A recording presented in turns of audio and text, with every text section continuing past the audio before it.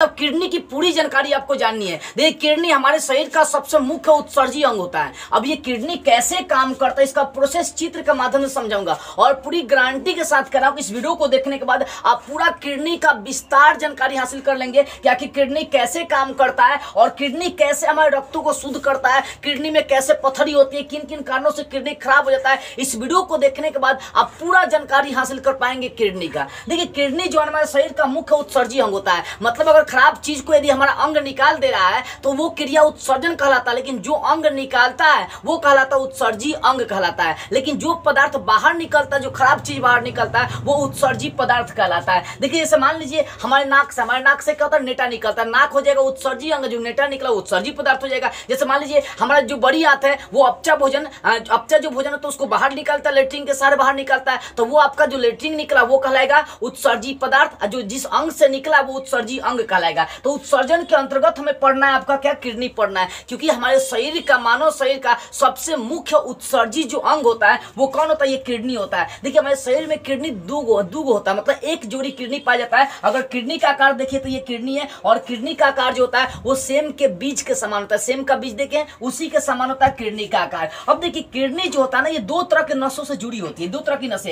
एक हरे रंग की नस होती है और दूसरा का लाल रंग की नसें होती है। तो हरे रंग की नसें सीरा कहलाती है और लाल रंग की नशे धमनी कहलाती है। ये आपको हृदय वाला चैप्टर्स में पढ़ाया गया था, हृदय में पूरा जानकारी दिया था। बस हमें इसमें यह जानना कि कैसे हमारा किडनी काम कर रहा है, कैसे काम करता है, पूरा जानकारी हासिल करेगा हृदय का ठीक है? अब देखिए जरा सा यहाँ पर, ये हमारा जो क्या है सॉरी ये किडनी है। किडनी इसको हिंदी में क्या कहते हैं? किडनी इसको हिंदी में वृक्क कहते हैं और उर्दू में इस किडनी को गुद्दा कहा जाता है, गुर्दा कहा जाता है, ठीक है ना? गुर्दा, उर्दू में कहा जाता है। अब देखिए, हमारे शरीर में दो किडनी पाई जाती है, जिसमें जिसमें से क्या होता है, ये वाला किडनी, साइड वाला जो किडनी होता है, इस किडनी से थोड़ा नीचे झुका रहता है, ठीक है? क्योंकि ये फेफड़े के नीचे आता है, हृदय के जस्ट नीचे आता है। अब देखिए, सीरा और धमनी, सीरा एक मतलब हमारी जो किडनी होती है, दो तरह की नसों से जुड़ी रहती है। उसमें पहली नसें होती है सीरा और दूसरी नसें होती है धमनी। अब जैसा हमें किडनी के बारे में जानना है, ये कैसे काम करता है तो किडनी जो हमारे शरीर का सबसे मुख्य उत्सर्जी अंग होता है, ठीक है? ये दो तरह की नसों से जुड़ा रहता है, और इसी किडनी से मूत्रवाहिका नलिका निकली रहती है, मूत्रवाहिनी नलिका, जिससे पेशाब मतलब कहने का मतलब हो गया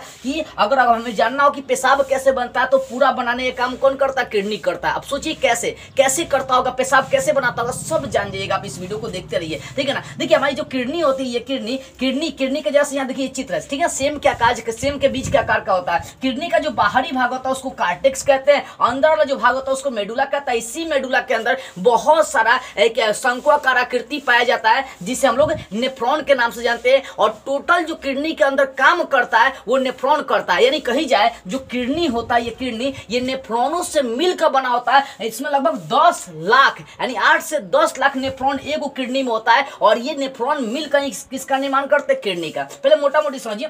देखिए, कहने का मतलब हो गया कि ये आपका क्या होगा, किडनी का किडनी का चित्र हो गया। इसकी बाहरी भाग कार्टेक्स, अंदर भाग मेडुला। या जहाँ से निकलता है, जहाँ से निकलता है, खून प्रवेश करता, निकलता है, उसको बोलते हैं रेनर हाइलम कहते हैं। यहीं पर सबसे ज़्यादा यूरिक एसिड की मात्रा ज़्यादा होती है। जो अमोनिया अमोनिया जो होता है ना, पेशाब के रूप में, यूरिक एसिड के रूप में बदल के निकलता अमोनिया को यूरिक एसिड में चेंज करता है लीवर। अब कैसे वो सारी चीज़ें हम लोग समझेंगे यहाँ पर? देखिए ना, देखो, ये आपका क्या है? दो, एक जोड़ी क्या होता है? सॉरी यकृत नहीं लीवर होता है। लीवर नहीं, आपका ये किडनी है, ठीक है ना? इसको ये किडनी, इसको हिंदी में वृकक कहते हैं। हमारे शरीर में कितनी जोड़ी, एक जोड़ी वृकक वृकक पाई जाती है। इसका काम क्या होता है? सबसे पहले काम, देखो, वृकक का जो काम होता है, वो काम होता है खून को छानना। ये खून को क्या करेगा? खून को शुद्ध नहीं करता, सिर्फ़ छानता है। जैसे मान लीजिए, हमारा खून है तो खून के साथ सब अच्छे पदार्थ थोड़े आएगा। अरे उसके साथ कुछ खराब पदार्थ भी आता है, अपशिष्ट पदार्थ भी आता है। तो किडनी क्या करता है कि उस अशुद्ध पदार्थ को छान लेता है। क्योंकि आपको पता होगा, जो सीरा वाली नशे होती है, हृदय में बताया गया था कि जो सीरा वाली नसी होती है,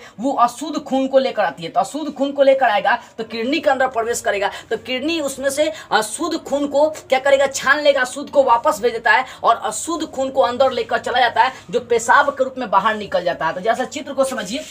ये दो तरह की नसें होती है। पहली का हरा, दूसरा का लाल। हरे रंग की नसें सीरा, लाल रंग की नसें धमनी होता है। जब अशुद्ध खून आता है इस नसों में, इसमें, इस धमनी लेकर आता है तो इस रास्ता के सारे किडनी के अंदर प्रवेश करता है। अब किडनी में नेफ्रॉन होता है, आपको बताऊँगा आगे कि किडनी के अंदर बहुत शंकुआकार छोटे छोटे रचनाएँ नसें पाई जाती है, जिसे नेफ्रॉन कहते हैं, और इस नेफ्रॉन की संख्या किडनी में आठ से दस लाख मिनिमम होती है। और यही नेफ्रॉन जो होता है, खून को शुद्ध करता है। किडनी नहीं, किडनी के अंदर जो नेफ्रॉन है, वो शुद्ध करता है। बहुत सारे, लगभग आठ से दस लाख नेफ्रॉन नेफ्रॉन नसें मिलकर किसका निर्माण कर देती है, किडनी का निर्माण कर देती है, ठीक है तो जैसे ही अशुद्ध खून इसके अंदर प्रवेश करेगा तो इसके अंदर ऐसी शंकुआकार आकृति पाई जाती है और यही शंकुआकार आकृति जिसको नेफ्रॉन कहते हैं, नेफ्रॉन उसको छानता है। तो नेफ्रॉन को अगर जूम करके देखिएगा शंकुआकार आकृति तो इस टाइप से होता है। कैसे छानता कैसे खून को शुद्ध करता है, इसके बारे में जानेंगे। ये जो चित्र है, नेफ्रॉन का ठीक है? तो इसमें क्या होगा, खून आएगा। अब यहाँ पर नेफ्रॉन था नेफ्रॉन खून को शुद्ध करेगा। और शुद्ध को बाहर नहीं मतलब खून, न तो जो उसमें बेकार चीज़ होता है, उसको छान लेता है और शुद्ध खून को वापस भेज देता है।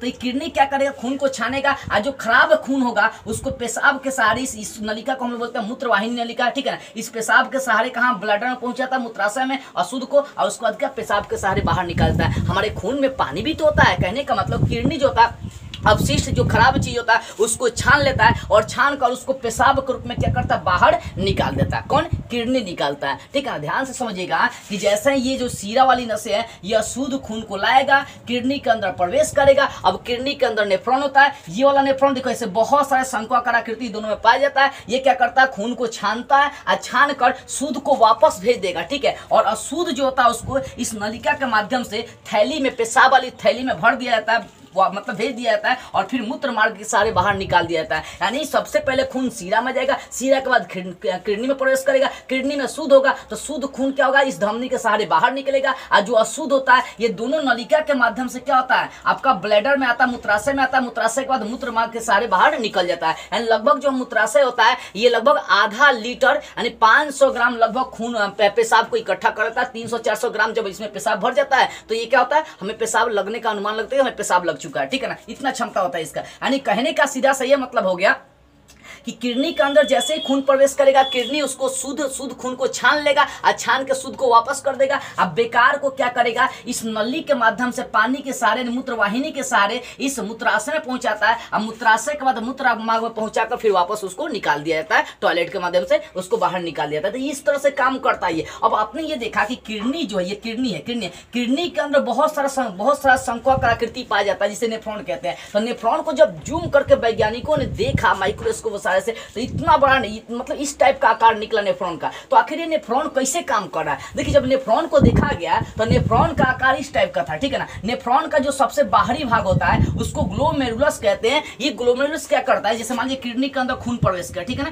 किडनी के अंदर क्या किया? खून प्रवेश किया। अब खून प्रवेश करेगा तो खून नेफ्रॉन के पास जाता है। तो नेफ्रॉन के बाहर ऐसी संरचना होती है, और नेफ्रॉन के बाहर इस टाइप की संरचना होती है। ये क्या करता है? जैसे इसके अंदर खून जाएगा तो ये वाला जो जाली होता है, ये खून को छान लेता है। यानी कहने का मतलब है कि कहने का ये मतलब है कि अशुद्ध खून को छान लेगा और शुद्ध को वापस भेज देता है, ठीक है ना? अशुद्ध खून को क्या करेगा? छान लेगा और शुद्ध को वापस भेज देता है। अब अशुद्ध खून जो होता है ग्लोमेरुलस के बाद वुमेन संपुट, ये वाला भाग वुमेन संपुट कहलाता है। और ये वुमेन संपुट क्या करता है कि जो अशुद्ध पदार्थ है, उसमें से भी क्या करता है? कुछ शुद्ध छान के वापस कर देता है। यानी कहने का मतलब ग्लोमेरुलस खून को तो छानता है, ठीक है? लेकिन पूरा नहीं छान पाता है। तो पूरा छानने का काम कहाँ किया जाता है? बोमेन संपुट में। यानी कहने का मतलब कि ग्लोमेरुलस नेफ्रॉन का देखिए तीन भाग हो गया, ठीक है ना?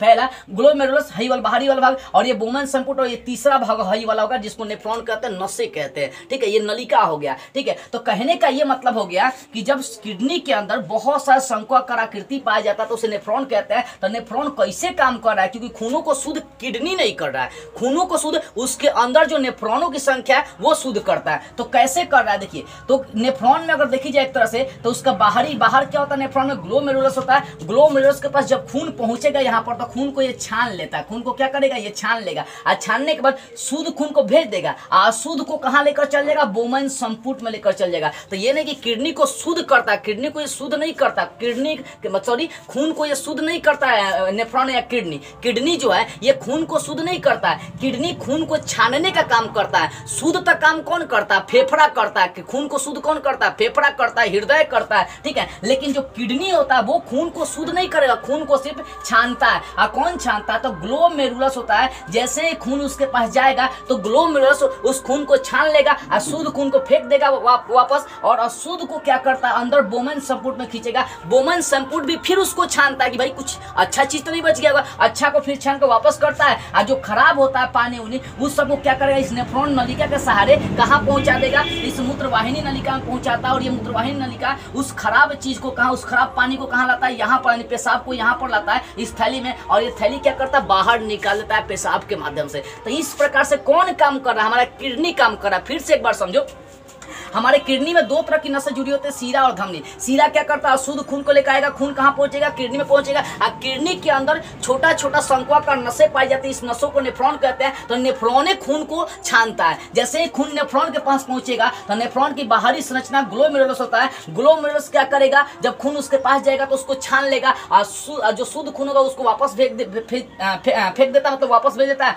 अशुद्ध को क्या करेगा? बोमेन संपुट के अंदर लाएगा। अब बोमेन संपुट संपुट के जब अंदर लाएगा तो इसमें ये भी बोमेन संपुट क्या करता है? खून को छानने का काम करता है। मतलब जो बच्चा खुचा होता है, उसको शुद्ध कर लेगा। अशुद्ध जो पूरी तरह से अशुद्ध होता है, उसको नेफ्रॉन नलिका के सहारे कहाँ पहुँचा देगा? तो मूत्रवाहिनी नलिका के पास पहुँचा देगा। ये पहुंचाएगा मूत्राशय के पास, उसके बाद पेशाब बाहर निकल जाता है। तो पेशाब कैसे? किडनी के अंदर जो नेफ्रॉन है, वो शुद्ध खून को बाहर निकाल देगा। और जो अशुद्ध खून होता है, वही आपका पेशाब बन जाता है। फिर से एक बार समझो, सीरा क्या करेगा? खून अशुद्ध खून को लाएगा, किडनी में पहुंचेगा। किडनी क्या करेगा? उसमें से शुद्ध खून को वापस कर देता है, छान लेता है। अशुद्ध को फिर क्या करता है? इस मूत्रवाहिनी के मूत्रवाहिनी नलिका के सहारे ब्लेडर मूत्राशय में पहुंचाता है। मूत्राशय के बाद वो खून कहाँ निकल जाता है? मूत्र मार्ग में निकल जाता है। तो ये पूरा जानकारी किसका आपका? ये पूरा जानकारी आपका रहा किडनी का, ठीक है?